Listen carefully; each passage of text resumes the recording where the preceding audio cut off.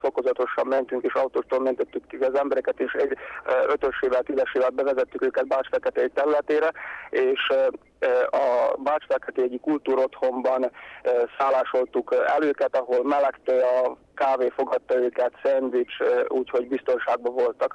Ez egész éjszaka folyt ez a mentés.